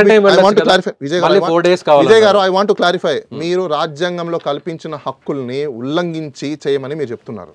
నేను రాజ్యాంగంలో నో కాదు. రాజ్యాంగంలో కల్పించిన ఆర్టికల్ ట్వంటీ వన్ మాట్లాడలేదు ఆర్టికల్ వర్మ గారి ధైర్య సాహసాలు మాట్లాడేది అదే. వర్మ గారి ధైర్య సాహసాల గురించి చెప్పే. వ్యక్తిగా మాట్లాడుతున్నాను. ఎందుకంటే రాజ్యాంగంలో ఆర్టికల్ ట్వంటీ వన్ కల్పించిన హక్కుల్ని ఎవరికి భయపడని కాబట్టి ఏ వ్యక్తికి ఏ శక్తికి ఏ పార్టీకి ఏ ప్రభుత్వానికి భయపడినటువంటి వర్మ. ఎందుకు ఇలా ఈ రోజు ఎవరికి కనిపించకుండా వెళ్ళారు అనేది నేను అడిగే నాది. స్ట్రైట్ ఒక క్వశ్చన్ ఉంది. మీ వెనకాల ఏ పార్టీ వాళ్ళు ఉన్నారు? నా వెనకాల ఎవరు లేరండి స్క్రీన్ ఉంది. మేబీ నాకు తెలిసి ఏదో పార్టీ వాళ్ళు నడిపిస్తున్నారు. ఈ క్వశ్చన్స్ మీకు స్క్రిప్ట్ పంపించారు స్క్రీన్ మాత్రమే ఉంది. నాకు తెలిసి మీకు స్క్రిప్ట్ ఏదైనా పంపించారు నా దగ్గర ఏం స్క్రిప్ట్ ఏం లేదు. ఎవరికి తెలుసు? మీరు ముందే ప్రిపేర్ అయ్యారేమో? నా దగ్గర ఏమైనా ఉన్నాయా? చూసారు మాకేం తెలుసు. కనీసం ఒక దగ్గర నా చేతిలో ఒక పేపర్ ఉందా? కనీసం నేను prepare సెల్ ఫోన్ ఏమైనా ఆన్ చేశాను? మీరు ముందు ప్రిపేర్ అయ్యి రెడీగా అయ్యి వచ్చారేమో? హూ నోస్ నేను చెప్తున్నా అండి. చిన్నప్పటి నుంచి నేను. వర్మ గారిని అభిమానించే. అభిమానించే ఒక. సినీ ప్రేక్షకుడిని ఇదే- నేను వర్మ. గారిని అభిమాని మొదటి నుంచి ఆయన అంటున్నా. అభిమానించే ప్రేక్షకుడిని. ఆ తర్వాత? జర్నలిస్ట్ అడుగుతున్నా? ప్రేక్షకుడిగా అడుగుతున్నా జర్నలిస్ట్ అడుగుతున్నా ఒక పౌరుడిగా అడుగుతున్నా. నేను అదే అంటున్నాను. ప్రతి దానికి కూడా ఒక రీజనబిలిటీ అనేది ఉంటుంది. ఇప్పుడు మీరు ఎట్లా మీకు నచ్చినట్టు మీరు ఊహించుకుంటున్నారో ప్రతి ఒక్కరు ఊహించేసుకుంటారు. కానీ అది నిజ నిజాలని ఎప్పుడు తేలుతాయి? మేము దానికోసమే లీగల్గా వాళ్ళు నోటీస్ పంపించారు. అవునా? ఇప్పుడు మేము మా లీగల్గా ఆన్సర్ చేయకుండా ఎథికల్గా మోరల్గా మాట్లాడుకుంటూ కూర్చుంటారా? చెప్పండి మీరే. అంటే మేమందరం ఏమనుకున్నామంటే వర్మ గారికి నోటీస్ రాగానే. సో సినిమాల్లో నెక్స్ట్ అసలు ఒక సీన్ మించి సీన్ ఎలా ఉంటుందో. అలా వర్మ గారి స్టెప్ కూడా అలా ఉంటుందేమో అని అనుకున్నాం. కానీ వర్మ గారు అనూహ్యంగా. పోలీసులు వస్తే కనిపించకుండా పోవడం అనేది ఇప్పుడు ఎవరికి అంత చిక్కని ప్రశ్న అసలు మీ క్వశ్చన్ చెప్పండి. వాళ్ళు నోటీస్లో ఎక్కడికి రమ్మని చెప్పారు? ఎక్కడో అలాంటి గారు, విజయ్ గారు. నోటీస్లో ఎక్కడికి రమ్మని చెప్పేసి అని నోటీస్ ఇచ్చారు. ఒంగోలుకి. అవునా? ఇరవై ఐదో తేదీ ఈ రోజే కదా? అవునా? ఇరవై తేదీ ఎన్ని గంటలకి? పదకొండు గంటలకు అక్కడ రమ్మన్నారు. అవునా? పదకొండు గంటల వరకు వెయిట్ చేయాలి కదా? అవునా? పోలీసు వాళ్ళు ముందే ఎలా వచ్చున్నారు ఇక్కడికి? ఇంకో టీం వచ్చి ఉంటుంది? ఇంకో టీం వచ్చి ఉంటుంది. నేను అదేనండి మీకు అంటున్నా పోలీసు వాళ్ళు ఎలా వచ్చారు ఇక్కడికి? అంటున్నా నేను. ఇంకో టీం వచ్చి ఉంటుంది మీకు మీకు మీకు పాయింట్ అర్థం కాలేదా? అక్కడికి వెళ్తే వ్యక్తి వెళ్ళారా లేదా అనేది పదకొండు గంటల వరకు వెయిట్ చేయాలి. ఇక్కడ తొమ్మిదిన్నర నుంచి మొదలైపోయిందిగా చట్టంలో ఎలాగో కాదండి నాకు ఆన్సర్ చేయండి మీరన్నట్టే- నాకు ఆన్సర్ చేయండి ఫస్ట్ మీరు. విజయ్ గారు నాకు ఆన్సర్ చేయండి. తొమ్మిది విజయ్ గారు, నా క్వశ్చన్ ఆన్సర్ చేయండి. అభియోగాలు ఆరోపించబడ్డాయో మీరు చెప్తున్నట్టుగా అదే చట్టం విజయ్ గారు, పోలీసులు కూడా అదే చట్టం విజయ్ గారు నేను అదే. అంటున్నా. నా క్వశ్చన్ ఆన్సర్ చేయండి. ఎందుకంటే ఇంకా పదకొండు గంటల వరకు టైం ఉన్నప్పుడు మీరు ఇచ్చింది నోటీస్ కాబట్టి నోటీస్కి పర్సన్ వస్తాడా? రిప్లై వస్తుందా? లేకపోతే ఎవరు తీసుకొచ్చి ఇస్తారని చెప్పేసి చూడాల్సిన వాళ్ళు. ఆయన మీరు తొమ్మిది గంటలకి ముందే ఏ విధంగా ప్రీ ప్లాన్గా వచ్చారు? ఆన్సర్ చేయండి. అంటే పదకొండు గంటలకు వస్తారని చెప్పారా? మీ దీంట్లో కాన్స్పిరసీ ఎస్ ఇప్పుడు మీరు వచ్చారు పాయింట్కి. పదకొండు గంటలకు ఆయన వస్తారని చెప్పారా? కాదు మేము ఇచ్చాం ఆన్సర్ మాకు ఆన్సర్ కావాలని చెప్పారా? రిప్లై ఇచ్చాంగా ఆ, మీరు చెప్పారా? పదకొండు గంటలకి ఒంగోలు పోలీస్ కాదు దానికోసమే మేము రిప్లై ఇచ్చాము. మీరు పదకొండు గంటల వరకు బాలా గారు రిప్లై ఇచ్చామండి. పదకొండు గంటలకు మేము మార్నింగ్ మీకు రిప్లై ఇచ్చాము. ఏమని చెప్పేసి ఇచ్చారు? ఈ రోజు మార్నింగ్ మీకు స్పీడ్ పోస్ట్? పంపించాము. మార్నింగ్ ఎయిట్ చేంజ్ కే మీకు రిప్లైస్ అందరికి పదకొండు గంటలకు వస్తానన్న చెప్పిన వ్యక్తి. ఎనిమిది గంటలకి వెంటనే రిప్లై ఇస్తారా? మీరు రైదండి రావట్లేదు. అవును మరి సో ఇంకెప్పుడు ఇస్తారు? ఎనిమిది- మరి పోలీసులు కూడా అలాగే వచ్చారు. ఎలా ఎలా? దీని వెనకాల దీని గంటలకు అటెండ్ అవ్వాల్సినటువంటి వ్యక్తి. మీకు దీని వెనకాల వెనకాల కాన్స్పిరసీ కనిపించట్లేదా? నేను ఎందుకంటున్నాను ఒక ఆర్టీఏ పెడదాం మీరు నేను పెడదాం ఎన్ని ఎఫ్ఐఆర్లు అయ్యాయి? ఎన్ని ఎఫ్ఐఆర్లు మీరు ఇంత హుడావుడిగా పనిచేస్తున్నారు? ఎన్ని ఎఫ్ఐఆర్లు కట్టారు? ఎంతమందికి మీరు నోటీస్ ఇచ్చి అక్కడికి పోయి ఉన్నారు? ఆంధ్రప్రదేశ్ నుంచి తెలంగాణకి రావాల్సిన తన పని తాను చేసుకుపోతుందండి. ఏమండి? చట్టం తన పని తాను బాలా గారు, చేసుకోవాలి కానీ మీకు తెలియంది రీజనబిలిటీగా కాదు. రీజనబిలిటీగా మీరు ఉంటుందండి. ఎన్నో సంవత్సరాల నుంచి చట్టాన్ని అడ్వకేట్గా చట్టాన్ని నాకు ఇష్టం వచ్చినట్టు ఎన్నో సంవత్సరాల నుంచి చట్టం తన పని తను చేసుకుపోతుంది బాలా గారు. విజయ్ గారు నేను మీకు చట్టం మీకు ఎలా వర్తిస్తుందో అలాగే అవతల వ్యక్తికి కూడా వర్తిస్తుంది కదా అయిపోయిందా మీరు పదకొండు గంటలకు అటెండ్ అవ్వాల్సినటువంటి మీరు మీ తరపున ఉన్నటువంటి రాజీవి గారు. ఎనిమిది గంటలకు ఆయన తరపున మీరు ఏ విధంగా పోలీసులకి స్పీడ్ పోస్ట్ పంపించారో. అదే విధంగా ఏపీ నుంచి పోలీసులు కూడా హైదరాబాద్కి తెలంగాణకి చేరుకున్నారు ఎలా మీరు మీరు ఇచ్చినట్టు మూడు గంటల? ముందు ఏ విధంగా స్పీడ్ అదే విధంగా? కొన్ని దేనికో- గంటల ముందు కొన్ని నిమిషాల దేనికోసం? ముందు దేనికోసం హైదరాబాద్? పోలీసులు ఇంకో. దేనికోసం దేనికోసం విజయ్ గారు దేనికోసము చెప్పండి దేనికోసం వచ్చారు? ఆయన రాలేదు కాబట్టి విచారణకు రాలేదు దేనికోసం? గడువు ఇచ్చినట్టుగా. పోలీసులు సమయం అడిగారు. ఓకే. వాళ్ళు ఇచ్చారు ఓకే. కాలేదు మళ్ళీ. మేమేం అడిగాం? మళ్ళీ మేము- కదా. అంటే మేము మళ్ళీ ఆన్సర్ చేసాం కదా ఇప్పుడు వాళ్ళు ఆన్సర్ చేయాలిగా మాకు. చేయాలి కదా. మరి ఎందుకు వచ్చినట్టు? అరెస్ట్ చేయడానికి. వినండి? ఫస్ట్. అరెస్ట్ చేయాలనుకుంటే ఈ కేసులో అరెస్ట్ చేసే కేసులా? ఇవే అరెస్ట్ చేసే కేసులా? దీనికే సావరెన్ డ్యూటీ డిశ్చార్జ్ అంటారు. Due diligence or due process of law అంటారు. Okay due process of law పాటించకపోతే ఆఫీసర్ల మీద కూడా మీరు కంప్లైంట్ చేయొచ్చు. తెలుసా మీకు ఆ విషయం తెలుసా. డ్యూ ప్రాసెస్ పాలించకుండా నాకు నచ్చినట్టు నేను చేసేస్తానంటే కుదరదు బాస్ ఇది ఇండియా ఇక్కడ లాస్ ఉన్నాయి. ఇక్కడ చట్టాలు ఉన్నాయి. రాజ్యాంగం ఉంది. కదా. కాబట్టి నా దగ్గర పవర్ ఉంది కదా? వినండి. నా దగ్గర పవర్ ఉంది కదా? నచ్చినట్టు నేను. వారి మీద ఫోటోలు మార్పింగ్లు చేసి పెట్టేస్తామంటే కుదరదు. అనే ఇదే చట్టం ఇదే రాజ్యాంగం కూడా అందరికీ చెప్తాను నేను అదే మీకు చెప్తున్నాను. అసలు ఏం పెట్టారో లేదో డీటెయిల్స్ లేకుండా మీకు మీరు స్పెక్యులేషన్స్ చేసేసుకొని అసలు ఏ బేసెస్ మీద కంప్లైంట్ పెట్టారో తెలియదు ఆ కంప్లైంట్ ఏ ఏ దాని మీద వచ్చిందో తెలియదు ఇవి ఏమీ తెలకుండా నోటీస్ వచ్చిన దాని మీద రిప్లైస్ ఇచ్చిన దాని గారు డెలీట్ చేశారా ఉంచారా? సి నేను అదే మళ్ళీ చెప్తున్నా. అసలు ఏం పోస్ట్ అనేది ఇంతవరకు మాకు తెలియదు మాకు నోటీస్ మాత్రమే వచ్చింది. I want to clarify again అది పోలీసుల ముందు అటెండ్ అయితే వాళ్ళే చూపిస్తారు మేము చెప్పాం కదండి.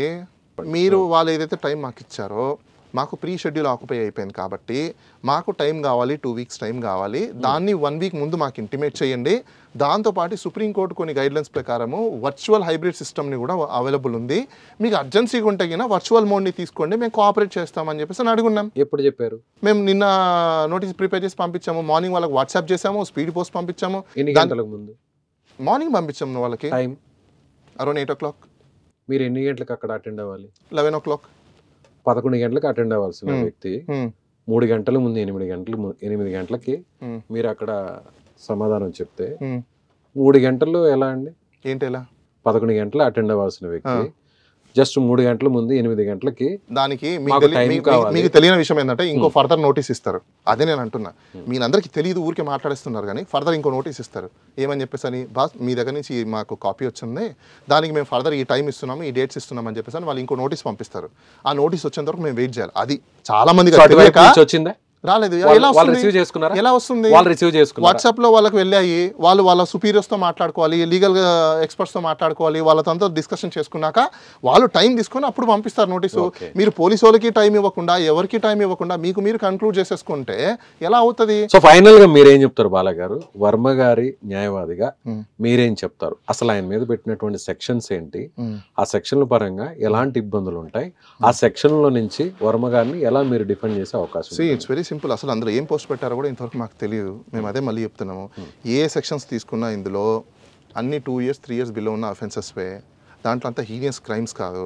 వాళ్ళు అసలు ఏం కావాలి ఏం ఇన్ఫర్మేషన్ కావాలి ఏం క్వశ్చన్స్ కావాలనేది నెక్స్ట్ వాళ్ళు ఏం నోటీస్ పంపిస్తారో చూసి దెన్ దాన్ని బట్టి మేము యాక్షన్ తీసుకోవడం జరుగుతుంది కామన్ సో వర్మ గారు ఎప్పుడు అందుబాటులో ఉండే అవకాశం ఉందంటే ఆయన షెడ్యూల్స్ మేము టూ వీక్స్ అబో ఆయన షెడ్యూల్స్ అన్నీ అయిపోయి ఉన్నాయి సో ఆయన ఎప్పుడు ఫ్రీ అవుతారు ఏంటనేది ఆయనకు తెలుస్తుంది. ఆయన లేకపోతే ఆయన షెడ్యూల్స్ చూసే వాళ్ళ పిఏ వాళ్ళకి తెలుస్తుంది. మాకున్న ఇన్ఫర్మేషన్ వరకు దీనికి సంబంధించింది మాత్రం మేము డీల్ చేసాం దాని వరకు మాత్రం మేము చెప్తున్నాం. మీరు కాంటాక్ట్ చేశారా వర్మ గారిని? వర్మ గారు కాంటాక్ట్లోనే ఉన్నారు. మీరు కాంటాక్ట్లో లేరని మీరు అనుకుంటున్నారు. మీరు ఎలా అనుకుంటున్నారు. వర్మ గారితో? ఎందుకు మాట్లాడలేదు? మేము నిన్న కూడా మాట్లాడారు. వర్మ గారు నిన్న మాట్లాడారు. ఆయన బిజీలో ఆయన ఉన్నారు. ఇప్పుడు ఇరవై నాలుగు అవునండి నేను అదే అంటున్నాను. వేరే నుంచి కాదు ఆయన ఫోన్ నుంచి మాకు కాల్ చేస్తారు ఇప్పుడు ఆయన బిజీలో ఆయన ఉంటారండి. ఇప్పుడు మీరు ఉన్నారు లైవ్లో ఉన్నప్పుడు మీ ఫోన్ స్విచ్ ఆఫ్ చేసి పెట్టుకుంటారు. ఎందుకు స్విచ్ ఆఫ్ చేస్తారు? మీకు డిస్టర్బెన్స్ అవుతుందని. అవునా? మీ వర్క్ డిస్టర్బ్ అవుతుందని. అవునా? అలానే ఆయన షెడ్యూల్స్ ప్రీ షెడ్యూల్స్ అయిపోయినప్పుడు ఆయన వర్క్లో ఉన్నప్పుడు ఒక పదిహేను మంది ఇరవై మంది పోలీసులు వస్తే అదే విధంగా నా మీద ఇన్ని కేసులు బనాయిస్తుంటే బనాయిస్తుంటే ఐ మీన్ నా మీద ఇన్ని కేసులు పెడుతుంటే. నేను జస్ట్ నేను షూట్లో ఉంటే ఒక గంట ఒకటిన్నర గంట ఫోన్ షూట్ గంటనే ఉంటుందా? ఒక గంట. షూట్ గంట ఉంటుంది సినిమా షూటింగ్లో గంట ఉంటుందా? సరే అండి నాకున్న టైం సినిమా షూటింగ్ ఇరవై నాలుగు గంటలు ఉంటాయి ముప్పై గంటలు ఉంటాయి డెబ్బై రెండు గంటలు ఉంటాయి. అడిగారు నా గురించి నేను అదే చెప్తున్నా. సైలెంట్లో పెట్టుకుంటాను మహా అంటే కాల్స్ వస్తే ఏదైనా ఎమర్జెన్సీ అయితే నేను అటెండ్ చేస్తాను. సో నేను ఇవాళ పదకొండు గంటలకి ఏపీలో ఉన్న ఒంగోలు పోలీస్ స్టేషన్కి అటెండ్ అవ్వాల్సినటువంటి సిచ్యువేషన్ నాకు వస్తే. నేను ఒకవేళ నిజంగా నా బిజీ షెడ్యూల్లో నేనుంటే. ఫోన్ అయితే నేనైతే సైలెంట్లో పెట్టుకుంటా. పోలీసులు నా ఇంటికి వచ్చారంటే ఎవరో ఒకరు నాకు ఇన్ఫర్మేషన్ ఇస్తారు. మా ఇంట్లో పనిచేసేవాళ్ళు లేదంటే నా అడ్వకేట్స్ నా లీగల్ టీము. నాకు సమాచారం ఇస్తారు నేను వాళ్ళకి ఆన్సర్ చేయాలి. నేనైతే Hmm. వర్మ గారు అయితే మరి నాకు తెలియదండి వర్మ గారు ఏ బిజీలో ఉన్నారో ఆయనకే తెలుసు రైట్ ఆయన షూటింగ్స్లో ఆయన ప్రీ డిఫైన్డ్ అయిపోయినారు ఆయన కాబట్టే ఒక రోజు ముందే వాళ్ళకి నోటీస్ పంపించాలి కాబట్టి ఇరవై నాలుగో తేదీ నిన్ననే మాకు ఇవ్వాల్సిన ఇన్స్ట్రక్షన్స్ అన్ని మాకు ఇచ్చిన తర్వాత మేము అన్ని ప్రిపేర్ చేసుకొని పంపించున్నాము. అంటే ఆయన ముందే ఈ సో ఆన్ సో డేట్లో మనకు షెడ్యూల్ ఉంది. కాబట్టి ముందే మనం ఆన్సర్ చేయాలి. ఒక లా బైడింగ్ సిటిజన్గా ఆయన ఆన్సర్ చేసేస్తున్నారు. దాన్ని మేము పోస్ట్ పంపించాము. వాట్సాప్లో కూడా పంపించాము. అవునా? తర్వాత వాళ్ళ దగ్గర నుంచి మాకు రిప్లై రావాలిగా? అంతవరకు వాళ్ళకి టైం ఇవ్వాలిగా? ఆ టైం లేకుండా ఇప్పటికిప్పుడు కన్క్లూడ్ చేసేయండి. ఇదేమైనా మీడియా ట్రైలా చెప్పండి. ఇదేమైనా మీడియా ట్రైలా ఇప్పటికిప్పుడు కన్క్లూడ్ చేయడానికి? దెర్ ఈస్ నేనే టైం కంక్లూజన్ ఏం చెప్పట్లేదు అది నేను అదే అంటున్నా there is a time next. Further step ఏంటి ఫర్దర్ ఎలా స్టెప్ వాళ్ళు? నోటీస్ పంపిస్తారు మీరు. రెండు వారాలు బిజీగా ఉన్నారు వాళ్ళు వర్మ ఇప్పుడు గారు నోటీస్. పంపిస్తారు. సో అంటే నెక్స్ట్ ఫర్దర్గా పొలిటికల్గా ఆయన ఎలాంటి స్టెప్ తీసుకుంటారు ఇంకా తెలియలే అదే అండి ఇప్పుడు నోటీస్ వాళ్ళు ఇప్పటి వరకు ఆయన ఒక పంపించాలి. వెయిట్ అండ్ సీ పొజిషన్లో ఉన్నారు నెక్స్ట్ విజయ్ గారు ఆయన మళ్ళీ నోటీస్ రిసీవ్ అయిన తర్వాత పోలీస్ వాళ్ళు మళ్ళీ నోటీస్ పంపిస్తారు నోటీస్ పంపించిన తర్వాత వాళ్ళు కంటెంట్ ఏమ్స్ రాశారు నోటీస్లలో మేము కూడా చూడాలి కదా మేము కొన్ని అంశాలు రాసాం ఏమని రాసాము హైబ్రిడ్ సిస్టమ్ తీసుకోండి అన్నాము. డిజిటల్ పోలీసింగ్ ఇండియాలో ఎలాగో ఉంది కాబట్టి డిజిటల్ పోలింగ్ని యూటిలైజ్ చేయమని చెప్పాము. సుప్రీంకోర్టు ఒక జడ్జ్మెంట్ ప్రకారం మీరు దీన్ని ఫాలో అవ్వండి అని చెప్పాము. వాళ్ళు అవన్నీ ఫాలో అవుతారా? అవ్వరా? చేస్తారా? మేము కూడా చూడాలి కదా. ఒకవేళ వాళ్ళు మేము ఫాలో అవ్వను అన్నారు అనుకోండి మేము కూడా కోర్టుకు అడిగే హక్కు ఉంది కదా. ఇప్పుడు సుప్రీంకోర్టు గైడ్లైన్స్ నేను ఫాలో అవ్వను అని చెప్తారా? ఎందుకు చెప్తారు? దెన్ అదే కదా ఇప్పుడు మా క్వశ్చన్ ఇక్కడ. రేపు వాళ్ళు ఏం ఆన్సర్ చేస్తారో తెలియకుండా మేము ఎలా చెప్పగలుగుతాం? సో వర్మ గారు అయితే మాత్రం ఏపీకి వెళ్ళరు భయపడి ఏపీ పోలీస్ స్టేషన్లో అడుగు పెట్టారు. నేను- నేను కేవలం ఓకే మీరన్నట్టుగా నేను ఒక question రాజ్యాంగం. కల్పించినట్టు హక్కే కాబట్టి. ఆయన ప్రీ షెడ్యూల్స్ ఉన్నదాన్ని ఇప్పుడు ఎవరో ఎప్పుడో కేసులు పెట్టేదాన్ని ఆయన ఏమైనా కలగంటారా? అంటే ఇప్పుడు ఆయన ఏమైనా దేవుడా? కాదండి. ఆయన ఏమో పోలీసులు దేవుడా? పోలీసులు కూడా నోటీస్ ఇచ్చారు. ఎప్పుడు నోటీస్ ఇచ్చారు? ఎప్పుడో ఇచ్చారు. కేసు ఎప్పుడుది? Post okay. ఎప్పుడు పెట్టారు. మీరు ఎప్పుడు. పెట్టారు. రి- ఎప్పుడో పోస్ట్ పెట్టారని చెప్పేసి అని మీరు మొన్న కేసు కట్టారు అవునా? ఆయన ఎప్పటి నుంచో సినిమా షూటింగ్లు అంటే ఈ రోజు ఇప్పుడు జరిగేవి కాదు. వన్ మంత్ కిందటో టూ మంత్స్ కిందటో ముందే ప్రీ డిఫైన్డ్గా షెడ్యూల్స్ అయిపోయింటాయి. లొకేషన్ షెడ్యూల్స్ అయిపోయింటాయి. వాళ్ళు ఆక్యుపై అయిపోయింటారు. ఆర్టిస్టులు ఉంటారు ప్రొడ్యూసర్లు ఉంటారు ఇన్వెస్ట్మెంట్స్ ఉంటుంది లొకేషన్స్ ఉంటాయి పర్మిషన్స్ ఉంటాయి ఇన్ని రకాలు ఉంటాయి. అవన్నీ ఆల్ ఆఫ్ ద సడన్ ఒక్కరోజు అయ్యేవి కాదు అవి. సిక్స్ మంత్స్ షెడ్యూల్ ఇప్పుడే ఫిక్సేషన్ జరుగుతుంది. మీకు తెలియదు ఏం కాదు మీడియా వాళ్ళకి. సో అంత ప్రీ డిఫైన్డ్గా ఉన్న షెడ్యూల్స్ అన్నిటిని ఆల్ ఆఫ్ సడన్గా ఎవరో ఎక్కడో కేసు పెట్టేశారు. అది కూడా కేసు పెట్టేసిన దాని మీద నోటీస్ వచ్చింది. ఆ నోటీస్ వచ్చిన హుటాహుటిగా కాదు కదా ఇది హీనియస్ క్రైమ్ కాదు కదా. సోషల్ మీడియాలో పెట్టిన పోస్ట్ అనుకోండి అజ్యూమే మూమెంట్ ఇక్కడ ఎంత హీనియస్ క్రైమ్ ఏముంది చెప్పండి నాకు? ఏంటి సార్ అలా? దెన్ మరి ఇంకా? నా చేతిలో సోషల్ మీడియా ఉంది కదా అవతల వ్యక్తుల మీద ఏది పడితే నేను మళ్ళీ మీకు అదే చెప్తున్నా. మీరు కేసు కట్టారు. అవునా? కేసు అయిపోయింది కదా? నోటీస్ ఇచ్చారు. దానికి ఆన్సర్ హీనియస్ క్రైమ్ అయినప్పుడు మీరు అన్నట్టు హుటాహుటిగా పరిగెత్తారు. ఇది హీనియస్ క్రైమ్ కాదు. రెండు వేల ఇరవై రెండు అని మీరే అంటున్నారు. టూ ఇయర్స్ ఆ లిమిట్ నేను అదే అంటున్నా. అలా పెట్టచ్చా? సి ఇప్పుడు వాళ్ళు ఏదైతే ఆరోపణలు చేస్తున్నారో మీరు ఒక- పెట్టడానికి లేదు. మీరు వర్మ గారి పెట్టడానికి లేదు. వర్మ గారి అడ్వకేట్ పెట్టడానికి లేదు. మీరు ఒక పౌరుడిగా పెట్టడానికి మీరు లేదు. ఒక మానవత్వం కలిగినటువంటి వ్యక్తిగా అలాంటి పోస్టులు ఎవరి మీద పెట్టచ్చా? అసలు ఏం పోస్టులు పెట్టడం తెలియకుండా నేను ఎలా మాట్లాడాలి? వాళ్ళ వ్యక్తిత్వాన్ని నేను చేసే అవి విధంగా ఏవో చూపించండి వాళ్ళ. క్యారెక్టర్ చూపించండి. చేసే విధంగా చూపించండి. నేను అదే అడుగుతున్నా. పోస్టులు ఏవో తెలియకుండా నేను ఎలా ఇలాంటి మాట్లాడాలి పోస్టులు గతంలో ఎప్పుడు పెట్టలేదు. నేను ఆ పోస్ట్ ఏంటో చూపించండి నేను అంటున్నా. I don't follow Twitter I don't follow Facebook I don't follow అంటే మీ మధ్య డిస్కషన్ జరగలేదు అసలు. ఆయన అదే అంటున్నారు ఏ పోస్టులకు నాకు తెలియదు నోటీస్ పంపించారు అసలు ఏ ఇన్ఫర్మేషన్ లేకుండా నా- అది చెప్పండి నేను చెప్తే నేనేం చెప్తానని చెప్పారు ఆయన. కరెక్ట్ ఆయన చెప్పింది. అది ఏంటనేది మీరు చెప్తే ఆయన ఏం పెట్టారు ఆయన అప్పుడు ఆయన వెరిఫై చేసుకోవడానికి ఉంటుంది. చెప్పకుండా పోస్టులు పెట్టేశారు పోస్టులు పెట్టేశారంటే ఎక్కడ? రైట్ ఓకే బాలగారు మరి చూద్దాం. వర్మ గారు అందుబాటులోకి వస్తారా? త్వరలో ఏమన్నా? వస్తారు డెఫినెట్ ఆయన ఎక్కడ వెళ్ళిపోతారు? ఆయన ఏమన్నా వెళ్ళిపోయే చిన్న వ్యక్తి ఏమన్నా? స్టేటస్లో సొసైటీలో ఒక స్టేటస్ ఉన్న వ్యక్తి ఒక సెలబ్రిటీ ఎక్కడికి వెళ్ళిపోతారు సెలబ్రిటీ సిచ్యువేషన్ చూస్తే చాలా దగ్గరకు వచ్చేసింది. ఇక నెక్స్ట్ అరెస్ట్ అనే విధంగా సిచ్యువేషన్ కనిపిస్తుంది అనుకో విజయ్ గారు నేను మీకు క్లారిఫై చేయాలనుకుంటున్నా. ప్రజలందరూ కూడా తెలుసుకోండి మీరు కూడా తెలుసుకోండి. అరెస్ట్ ఎప్పుడు చేస్తారనే దానికి గూగుల్లో మీరు కొట్టండి ఫస్ట్ బిఎన్ఎస్ఎస్ ప్రకారము థర్టీ ఫైవ్ అనేది ఒక సెక్షన్ ఉంటుంది. దాంట్లో when arrest will take place అనేది చూడండి. అరెస్ట్ ఎప్పుడు చేస్తారంటే when a person not cooperation for investigation or tamper of evidence tamper of influence of witness జరిగినప్పుడు మేమే రిప్లై ఇచ్చి ఇన్వెస్టిగేషన్కి కోఆపరేట్ చేస్తాము అంటున్నాం మేము. చేస్తాం అన్నప్పుడు whatever it may be whatever mode as per section ప్రకారం యాజ్ పర్ లా ప్రకారం మేము కోఆపరేట్ చేస్తామన్నప్పుడు అరెస్ట్ అనే సర్కమ్టెన్సెస్ క్రియేట్ అవ్వవు. క్వశ్చన్ ఆఫ్ అరెస్ట్ అనేది ఉండదు. అరెస్ట్ చేయాలంటే అందుకోసమే నేను మీకు అదే అంటున్నా. సావరిన్ డ్యూటీలో due diligence due process of law అనేది ఒకటి ఉంటుంది. అది చేయాలంటే మైండ్ అప్లికేషన్ చేయాలి. జడ్జిలు కూడా ఒక వ్యక్తిని తీసుకెళ్ళి ప్రజెంట్ చేశారంటే ఇమీడియట్గా పంపించారండి. అరుణేష్ కుమార్ జడ్జిమెంట్ ఒకటి ఉంది. దాంట్లో కొన్ని గైడ్లైన్స్ ఉన్నాయి. అరెస్ట్ చేసిన వ్యక్తిని ప్రొడ్యూస్ చేసిన తర్వాత ఏమేమి ఫాలో అవ్వాలి అని చెప్పింది. నాకు తెలిసినంత వరకు ఇప్పుడు సోషల్ మీడియా మీద జరుగుతున్న కేసెస్లో ఏవి కూడా ఫాలో అవ్వట్లా. తెలుసా మీకు? ఏపీ పోలీసులు. మ్యాక్సిమం ఫాలో అవ్వట్లేదు. అసలు ఇలాంటి కేసుల్లో ఎప్పుడో పెట్టిన పోస్టులకి అసలు జూరిస్ట్రిక్షను లిమిటేషన్ అనేది ఉంటుంది. లాస్ట్ మనం. వినండి. CrPC four sixty six months one year three years న్యాయస్థానాలు ఉన్నాయి. న్యాయస్థానంలో అయిపోయింది ఇంకా. మీరే చెప్పేశారు.